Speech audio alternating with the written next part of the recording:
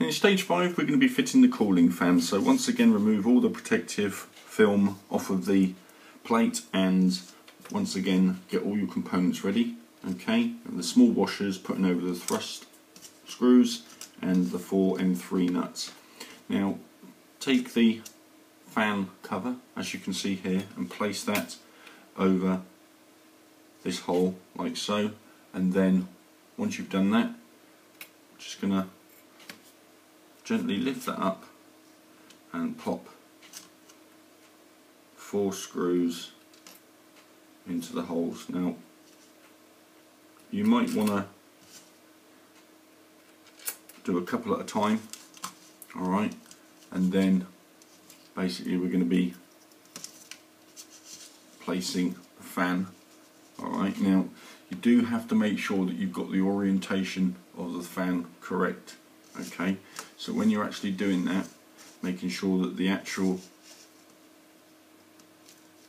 label here is facing towards the chrome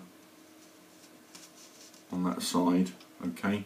And then once you've done that we then need to make sure that this cabling that comes out is facing up towards center so we'll just put that in and just if you can follow the photographs at the end of this sequence you'll see what I mean. Put those in like so. Okay and once we've done that we're going to turn it over. Okay and then we're then going to place the the nuts on. Now don't tighten them all the way down because the nuts actually need to sit into the recesses of the back of the fan unit okay so we're just putting them on loosely for the moment. Okay so do that. As we've done here and once we've got those on we can then let that drop down and the nuts as you'll notice then they'll sit into the recess of the fan unit. Okay once you've done that turn that back over. And get your screwdriver.